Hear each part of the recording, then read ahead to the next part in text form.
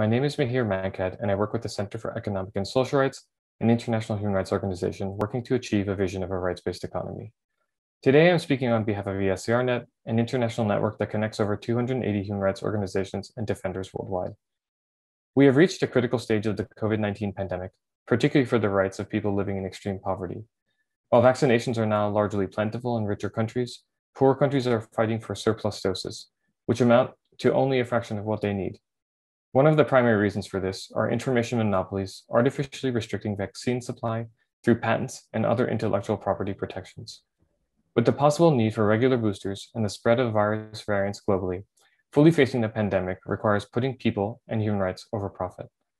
We therefore urge the UN Special Procedure mandate holders to issue urgent allegation letters seeking information from states and private actors that still oppose the TRIPS waiver and are not facilitating COVID technology transfers on the steps they have taken to comply with their international human rights obligations. We also urge states to comply with their duties to ensure just access to COVID 19 vaccines through international cooperation, such as the alleviation of debt burdens. And finally, we demand that the relevant business and other private actors support the TRIPS waiver, participate in the WHO's COVID 19 technology access pool, and share any other inputs required for COVID 19 vaccine production and distribution.